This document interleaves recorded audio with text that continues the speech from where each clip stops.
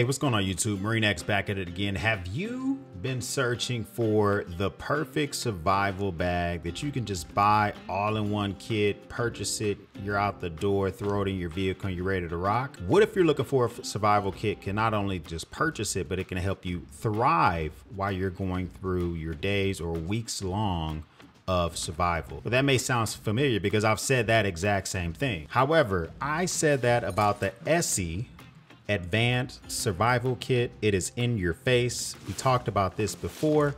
This thing's a great kit. However, it's kind of pricey, over $500. It's never in stock. And you can maybe find a lot of the items from the uh, OEM that they definitely got a lot of their gear from. So I bring you the Best Glide ASE Advanced Wilderness Survival Kit. It's in your face. Nice OD green bag here. But before we talk about this, man, I'm the type of person that likes to motivate you, get you motivated about upping your man cave, your vehicle, you know, your tools, prep. If you like that type of stuff, man, make sure you hit that subscribe button below. We would love to have you a part of the battalion. Now, Best Glide ASE, you've probably heard of them before, but they're not necessarily out in open public like SOG or 511 you know, all the other companies that want you to buy their survival gear, they're not one of them. Best Glide, ESEE, Tag, those type of companies pride themselves on survival gear and they also win a lot of government contracts. And so they are not very forward facing when it comes to the consumer market because they're pumping out federal you know, federal awards. So back in 2002, two buddies got together. They decided they wanted to take a 1976 Cessna airplane from Houston, Texas to Fairbanks, Alaska. Well, when you're doing that type of trip, you are required to have certain aviation survival gear with you at all times. So they were having a hard time sourcing this gear. They were having crazy shipping charges. Plus, it was more gear that on top of the mandatory gear that they wanted to keep with them at all times. So they decided to find their own company. So in 2002, Best Glide ASE was born, and they went down to ASE to kind of not, you know, pigeonhole themselves to only being aviation survival gear. So this bag itself, this is an American made bag. It's made out of 1000D Corduroy fabric. And the thing about this, this thing has self-healing zippers on it. Self-healing YKK zippers on it, as a matter of fact. What the heck does that mean? Self-healing means that basically if this bag, if these zippers were to unzip themselves anywhere along the track while it's zipped up, basically you just unzip it, you zip it back up, and the, the zippers heal themselves. So it's very minimalistic on the outside. You do have a little bit of branding, kind of lets you know adventure survival equipment. So they went from aviation survival equipment to adventure survival equipment made in the USA right there on the side of the bag. So it has two slip pockets on the outside, a couple of D-rings on the outside, a shoulder strap, which I'm gonna tuck that inside the bag. Now you may wonder why is this so minimalistic? Why can't this be carried on your back? This is made for egress, right? So if you're egressing from a vehicle, an airplane, something like that, you don't want stuff getting caught on that airplane while you're trying to, or that vehicle while you're trying to get out of harm's way. So you would definitely take this out as quickly as you could. This kit is put together in categories. Food gathering, food, water, information, and medical. So they have, you know, the bag itself is pretty comprehensive. And so any kit that you decide to buy, and just I would always advise you to go through your kit, make sure you're familiar with it before you just completely pull the trigger. So right here at the top, we have a complete bite and stings. This is for mosquitoes, snakes, and wasps. This is by Sawyer. And this is an extraction kit. This is a venom extraction kit. If you've ever seen anything like that before, where basically you get bit, it gives you instructions on the back how to extract the venom. I've never done it before. And I've never even bought anything like this for any of my kits before. I'm gonna research that and definitely just keep that in my arsenal. And it's good to know that you have something like that. They give you a Brunton uh, base plate compass. So they're a direct competitor of Suunto. This is an American-made company, American-made comp- uh, compass. You have a survival candle in here. So this type of candle, you would not really burn all three wicks at the same time. You really would just burn one at a time. And as that one began to go out, you kind of shift yourself over. If you see all three there, right on top of that, they give you some matches that are included in it. And then this thing, as long as you keep it sealed tight, should be water resistant or maybe even waterproof. This is made in Canada. So one thing about Best Glide is that since they do have a lot of government contracts, they do try to, they have to abide by the Buy American Act. That doesn't mean that all their gear has to be made in America usually means that it has to be made in a trade a trade worthy country. So this kit in its entirety may not be for military use, but you're going to see a lot of stuff made in America or some of our partner countries because of the Buy American Act. So you have a two gallon water bag. So huge bag for you to be able to gather water, bring it back to a site and process that water. Hopefully they have something in here for you to actually process the water and boil it. So this bag itself contains several of these uh, LOKSAKs. These are a direct competitor of the Whirly packs. And so these are uh, leak proof and waterproof uh, packs. You double seal them and you just make sure you, you compress it down a couple of times to ensure you got a good seal on these things. This is a made in American company. And same concept where if you have things that need to go in here and not get wet, you can put them in here or you can use this to transport water. So the kit contains several of these smaller type of kits within it. So we're gonna bust each one open. This first one contains the survival fishing kit. This is the basic version, the basic survival fishing kit, which this may look insanely familiar this is uh this actually is OEM for Best Glide is their basics fishing kit. It may look insanely familiar because ESEE also uses their fishing kit. So ESEE has their fishing kit in here. So, you know, let you kind of know that this is a well-respected company when some of their competitors are OEMing their equipment. And the thing about their fishing kit is they also give you some literature on how to use that kit. Just in case you, you don't fish often or you haven't fished in a while, they give you some literature on how to actually string up the line. What does it mean to actually use this bait that they give you? So if you open this up, they have an entire diagram on how to use their fishing kit. And then they give you a bunch of line, they give you hooks, they give you bait. And I mean, look how this is comprehensive. So ESEE uses their basic fishing kit. ESEE does not provide you this additional line. And the thing about this is once you learn how to use the kit with the basic supplies that they've given you, now if you're out there for a while, you can get your own grubs, your own worms, uh, crickets, so forth and so on, and continue using that kit. So next here we have their magnification glass, which is used for fire starting. So they give you a couple of these for redundancy purposes. And, you know, so that way, you know, you're good to go. And they give you some snare wire. You have some more matches in here. So there's matches in the actual, the survival candle that they give you. They give you some more matches that you can use in here. You got some snare wire. They have a, this is a P51 can opener. And this can opener has been used for decades. This is the same type of can opener my grandfather used in Vietnam. So you can use this as a can opener and or it also kind of doubles as like a cutting blade. There's a couple of coffee filters in here to filter water. So I'm assuming there's another way in there to purify water. This is going to get the big chunky dirt out of the water. It's not necessarily get all the bacteria and such out the water, but the water won't be so chunky.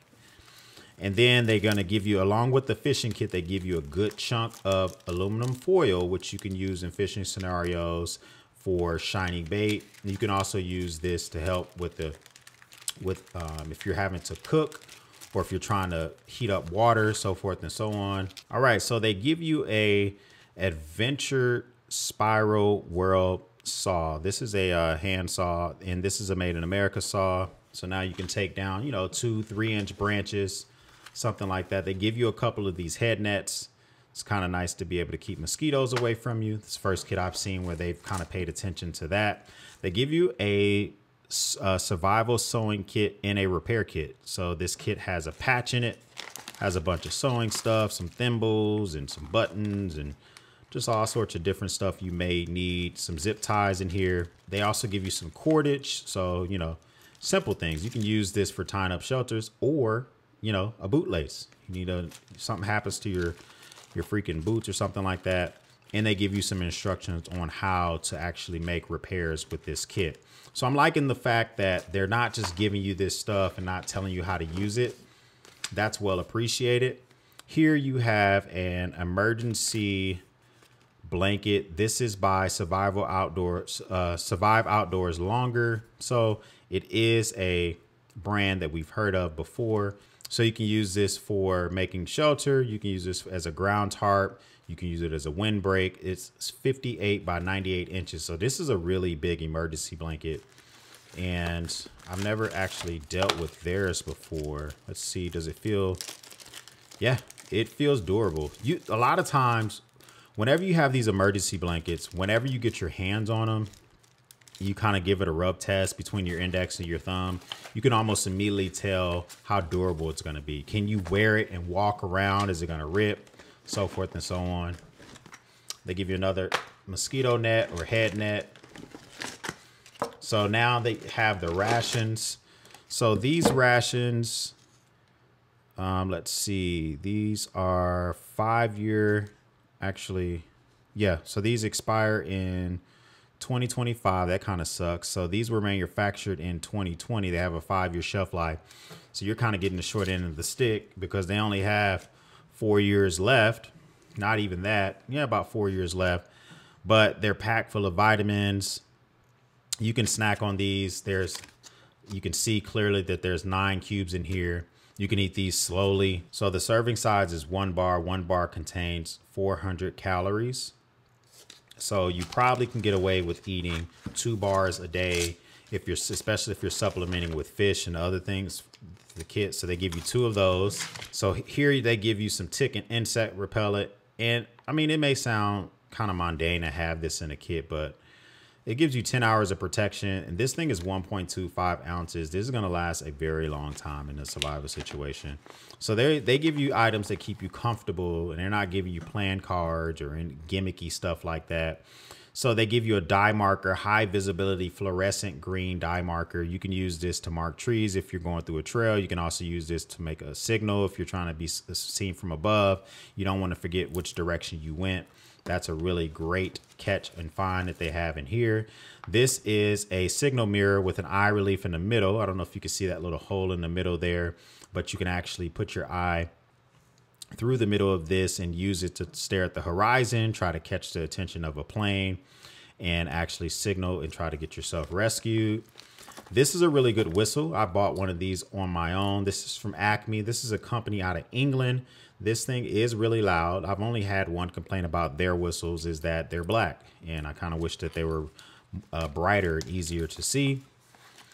And they give you a number two pencil. So I'm assuming there's something to write on coming up soon because I haven't seen anything yet. Hey, listen, if you're getting good content from this video, make sure you hit that like button. It lets YouTube know that this is something that should be shared with others. Now, we're continuing on with this. They give you some drinking water. It is in a seemingly gallon Ziploc bag. This is not one of those bags that you can seal and you know, use for anything other than something like this or maybe storing something you don't want to get wet. Five year shelf life. Um, so these things are 4.25 ounces each. So this should be about a day's worth of water for one person. Depends on how you sip it and depends on the environment that you're in. Even if it's a cold environment, you still got to stay hydrated if you're trying to set up a shelter, if you're trying to walk to somewhere, whatever the case may be. This is their med kit. Their med kit is given to you in another one of these bags. I see an Israeli bandage in here. They got triangle triangle bandages. They got some adhesive tape. There is, I mean, this seems like a pretty extensive kit eye wash in here, lots and lots of gauze and bandages. Uh, so an entire separate bag full of gauze and bandages, which I like the fact that this is separate and sealed so that you can just grab the one that you need and you're not possibly, if you're bleeding, right, you're not bleeding all over your bandages by opening this bag. So this is, a, I like the fact this is pretty separate. They give you a lot of adhesive tape. This is 10 yards of one inch adhesive tape. That's a lot of adhesive tape. So this is something that I really like. They give you some lip guard. They give you sting pain relief. This is uh, pretty extensive. Triple, uh, said that basically neosporin. This is an Israeli bandage. You have, all right, so this is uh, really cool. So they're giving you ibuprofen. They're giving you some extra strength aspirin, just different medicines that you may need. Now, if you obviously, if you know you're allergic to something, don't take it. But the fact that they're giving you this stuff and you're not even having to put this in the bag. So now you're just going to have to supplement this with any prescriptions that you may need. But there's a lot of over the counter medicine in here. They have non aspirin pain relief, they have real aspirin, they have ibuprofen. Um, they have things in here that stops diarrhea. They got a lot of this is a nice little collection of medicine there. So they give you these swabs. This is an antiseptic. You kind of use these in like cuts and stuff like that. Um, it's really, they use these in preparation for surgeries, but you can use this in preparation to clean a cut. So they give you quite a few of these as well. This is a, a pretty decent med kit. They're not giving you anything crazy like SWAT tourniquets and, you know, tons and tons of Israeli bandages, but they are giving you stuff where it's going to be pretty practical that, you know, you cut yourself, you sprain an ankle, you get stung by a bee, you got a headache, you got diarrhea, you know, stuff like that. So that this kit is pretty good and there's room in the kit to add more of your own items. So they give you some chem lights, they give you two greens and one yellow. I would use the yellow most likely if I was trying to get some signal action going on. This is gonna be 30 minutes of high intensity light. So, you know, I would definitely want to use that tied to the end of some paracord or something like that, swing it in a circle, try to get noticed. And then they give you some additional green chem lights, which aren't as intense, but they do burn for 12 hours. So you got tinder. It's always nice to have some nice fire starter tinder. A pack. Okay, so this is a Pak-Lite, 9 volt LED flashlight. And normally I'm all about AA or AAA only. This is a 9 volt. If you keep the alkaline battery in here, it goes for 600 hours on low, 30 hours on high. If you buy your own lithium battery, it goes 1200 hours on low or 80 hours on high. So I do prefer double A AA or AAA, but in survival situations, sometimes you want something that's a little bit brighter. So the Rite in the Rain pad, which is gonna be going with that pencil that we saw earlier. And this is not a shabby small Rite in Rain pad. This thing has a lot of freaking paper. And they give you some waterproof matches with the striker on the outside. So now you even more redundancy, more matches, more opportunities to start a fire. They give you another magnification lens, which you can use to help start a fire. They give you an actual ferro rod and striker. I've never, this is a, it's not branded. I don't know if it, and you know what? I'm not a big fan of how short this paracord is on it. But I mean, seemingly it's working first strike. So, all right. I may not be the fan of the length of the paracord, but it is working. So that's good. They give you some duct tape. I'm not sure how much is in there, but it looks like a nice healthy amount of duct tape they give you there. And then they give you a razor blade. It's always nice to have a razor blade. Even if you're making cuts, you know, you can use a razor blade for when you finally do catch that fish to do a little bit of processing. You might even be able to use that at the correct angle to take off scales you know, cut out the guts, so forth and so on. Now, the information section of this bag obviously would have to be these two books. There's an entire book on backcountry first aid, so how to give first aid. They got sprains, they got cuts and bruises and bites and just a big old list of stuff with pages and a quick index on how to find those items and apply that first aid. Then they give you a copy of the Ultimate Survival Guide. I would recommend that you pull this out of this kit and read it. Don't just wait until you're in those scenarios. This thing is showing you how to create certain knots, how to start a fire, you know, how to set up a shelter, how to make how to use a snare wire to make traps, So a lot of different things in this book, but I would recommend you go through the book. It's not going to be a hard read. Get yourself familiar with it. This is a humongous signal panel. Now, the thing about this signal panel, it is 57 inches by 23 inches.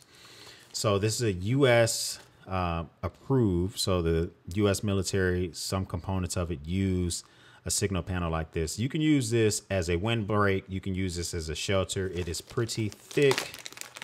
It includes, I know these are well stitched. You can use this over and over again. And so it comes with a lot of its own built-in paracord so that you can tie it off to a tree. You can tie it around branches. So some more waterproof matches. They give you some chlorine pills to actually do some water treatment. This treats up to 30 gallons. So now you got the two gallons of water holder. You can use that to treat the water. You can use the, the coffee filters to filter water. You kind of got a nice little system going here. They give you paracord. I would definitely uh, add more paracord here. This is about 50 yards, so quite a bit more tinder for a fire starter. I'm, I'm liking how much tinder they're giving you. And this is a very basic Swiss Army knife, Victorinox Swiss Army knife. Okay, so can opener, bottle opener, all in a knife. The other side that does include a toothpick, which is something they usually would throw in these things.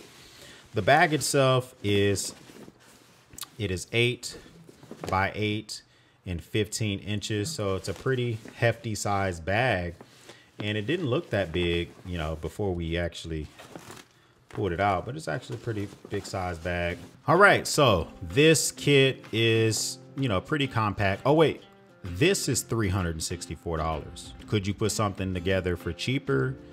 Maybe, probably. Would it be this comprehensive?